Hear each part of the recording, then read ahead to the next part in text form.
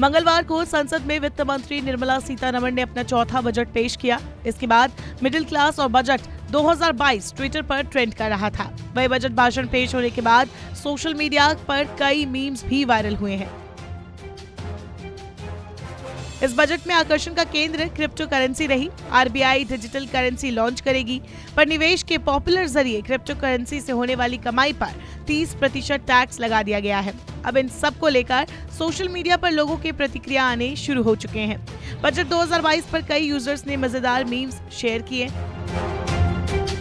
Social media के मशहूर memer Sagar ने क्रिप्टो करेंसी पर मीम शेयर किया। यूट्यूब फ्लाइंग बीस के 6 लाख का फ्रॉड हो गया मेरे साथ। वीडियो के स्क्रीनशॉट को शेयर कर लिखा। 2022 का बजट देखने के बाद क्रिप्टो इन्वेस्टर वेयकदास नाम के यूज़र ने एक्टर पंकज त्रिपाठी की वेब सीरीज़ क्रिमिनल जस्टिस के एक सीन को बजट से कनेक्ट कर लिखा।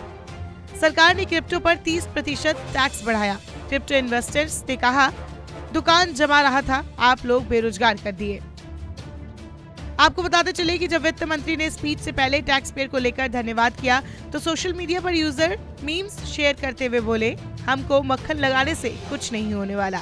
अक्षय कुमार की फ़िल्म फिर हेरा फेरी पर बने मीम में दिखा मिडिल क्लास का दर्द सरकार हर साल बजट में मिडिल क्लास से यही कहते हैं, तू जा यहाँ से। ये स्कीम तेरे लिए नहीं है, तू जा। वही दिया नाम के यूज़र ने big boss contestant Shehnaaz Gill पर बने मीम को शेयर कर लिखा 2022 का बजट सुनने के बाद मिडिल क्लास ने कहा, क्या करूँ, मैं मर जाऊँ? वहीं से लेकर कई पोल भी चल रहे हैं, जिनमें सवाल पूछे जा रहे हैं कि क्या टैक्स लगाए जाने से आप खुश हैं? इस पर लोग अपनी रिएक्शन भी दे रहे हैं।